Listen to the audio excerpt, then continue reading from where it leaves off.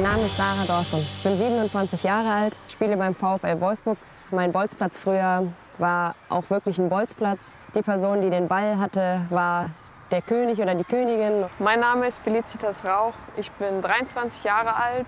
Mein Bolzplatz früher äh, war ein Bolzplatz neben dem Käfig. Habe mich da mit meinen Jungs getroffen. Sarah Dorsum kenne ich von der Nationalmannschaft und jetzt kicken wir zusammen beim VfL Wolfsburg.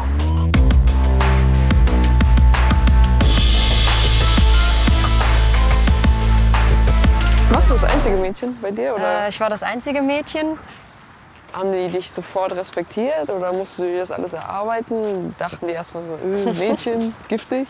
Gab es da nie so Rivalität? Die hatten ja immer eine große Klappe. Also in einem bestimmten Alter ist es ja dann so, ja Mädchen, ich bin schneller und ich bin besser. Und dann haben wir, haben wir immer gesagt, nee, komm, wir machen ein Wettrennen. Und dann habe ich immer gewonnen.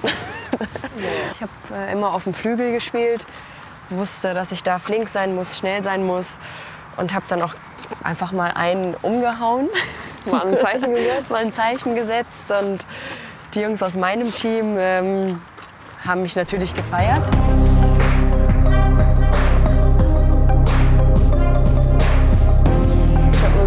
Mitbekommen, dass du der Presse einfach auch erstmal erklären musstest, wie dein Nachname überhaupt richtig ausgesprochen wird. Woher nimmst du dann das Selbstvertrauen, einfach zu sagen, äh, Leute, ich heiße so und so und nicht so und so? Ja, erstmal hat das für mich immer was mit Respekt zu tun, zu wissen, wie jemand heißt. Wenn man weiß, dass ich Dawson ausgesprochen werde, finde ich es relativ einfach und bestehe auch darauf, dass man Dawson sagt. Das ist für mich einfach mein Name. Ich weiß gar nicht, wie ich fragen soll. Wie sagt man das bei dir denn? Wo kommst du her? Oder Du siehst ja ein bisschen anders aus. Du siehst ja ein bisschen ausländisch aus.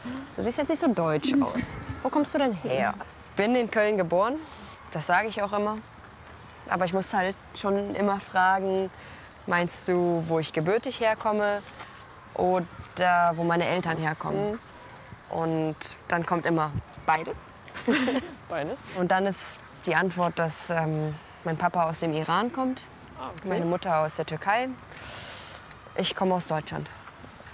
Zum Beispiel werde ich oft gefragt, wenn wir die Hymne singen aus der Nationalmannschaft. Du singst sie mit, ne? Ich singe sie mit. Weiß Ich singe sie voller Stolz mit. Ähm, die Frage hat sich mir nie gestellt. Ich bin stolz, ähm, Teil der deutschen Nationalmannschaft zu sein.